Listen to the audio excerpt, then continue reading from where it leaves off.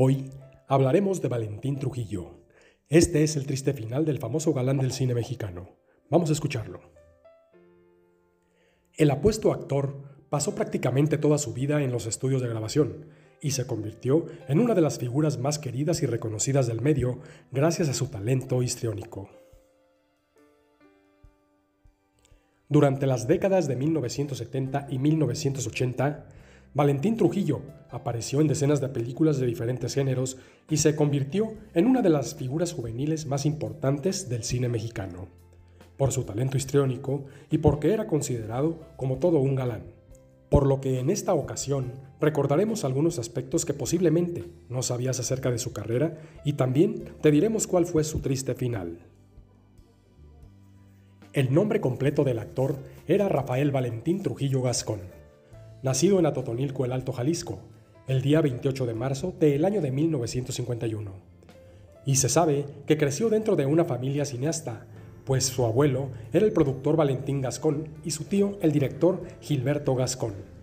Y fue gracias a ellos que pudo incursionar en el mundo del cine desde muy temprana edad.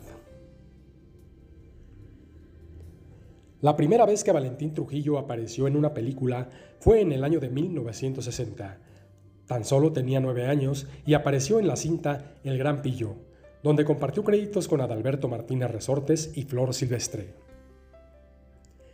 En los años siguientes también apareció en la cinta El Extra, del año de 1962, junto al mimo de México, Mario Moreno Cantinflas, y en Rajé 1963.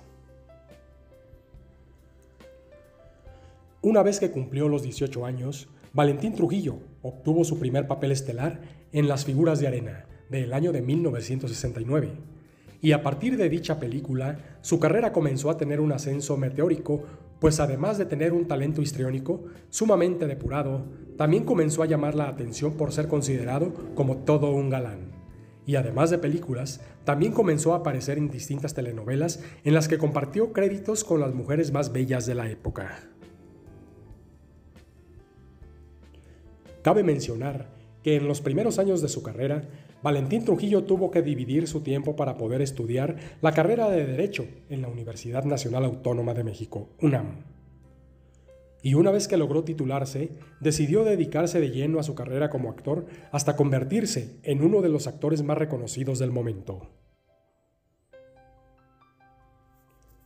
Durante la década de 1980, Valentín Trujillo comienza a realizar películas de corte social y de acción, por lo que se convierte en un referente de estos géneros y a mediados de esta década es cuando decide convertirse en productor.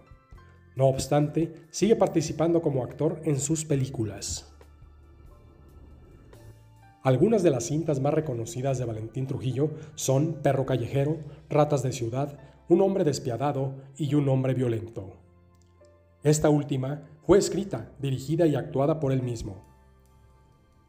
Otra cinta destacada en su carrera como productor fue Rojo Amanecer, del año de 1989, en la que compartió el rol de productor con Héctor Bonilla.